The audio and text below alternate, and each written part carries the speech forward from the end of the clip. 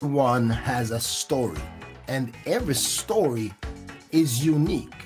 Never underestimate the power of your story. Until you tell it, you will never know the impact it will have on somebody. I have listened to many people say, I don't have a great story. As a matter of fact, I don't have a story. My story is not inspirational until they begin to tell it.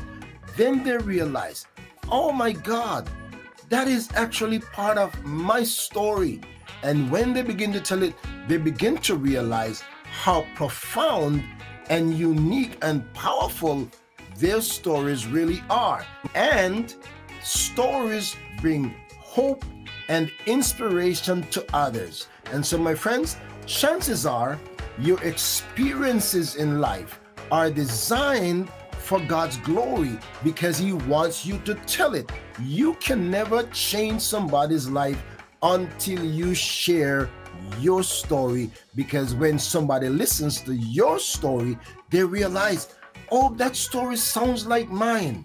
Or if that person has been through what they have been through and have made it to where they are now, that gives me hope. Yes, that's another the next point.